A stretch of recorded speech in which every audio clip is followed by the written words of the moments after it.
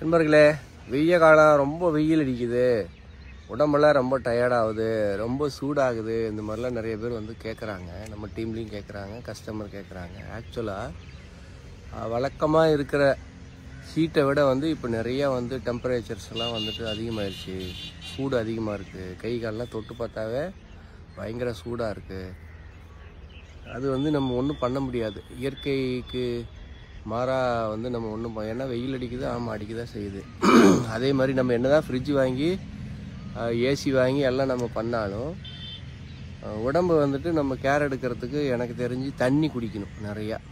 ஒரு நாளைக்கு மூணுலேருந்து நாலு பாட்டில் தண்ணி நீங்கள் கம்பல்சரி குடிக்கணும். ஏன்னா மூச்சு கண்ணீர் ஸ்கின்னில் வேர்வையில் பேச்சில் யூரின் மோஷனில் எல்லாத்துலேயுமே வந்து பாடி டீஹைட்ரேட் ஆகும். அப்போ வந்து நீர் சத்தும் நிறையா வெளியில் போகும். சோடியம் பொட்டாசியம் அந்த மாதிரி எல்லாம் இந்த ஜாக்கெட்டில் வெள்ளை வெள்ளையாக படிகிறது பேண்ட்டில் வெள்ளை வெள்ளையாக படியெல்லாம் உப்பு சத்து நீர் சத்து அந்த மாதிரி அதெல்லாம் வெளியில் போகும். அதெல்லாம் ரீஃபில் பண்ணணும். எலக்ட்ரோலைட்ஸ் அப்படின்னு சொல்லுவாங்க. ஸோ அது வந்து மோர் குடிக்கலாம் இளநீ குடிக்கலாம். இப்போ நிறைய எலக்ட்ரோலைட்ஸ் வந்துருச்சு. அது வாங்கி குடிக்கலாம். அதெல்லாம் வாங்கி நீங்கள் குடிக்கணும். அப்புறம் வந்து அதிக வெயிலில் வந்து ரோமிங் பண்ணாதீங்க.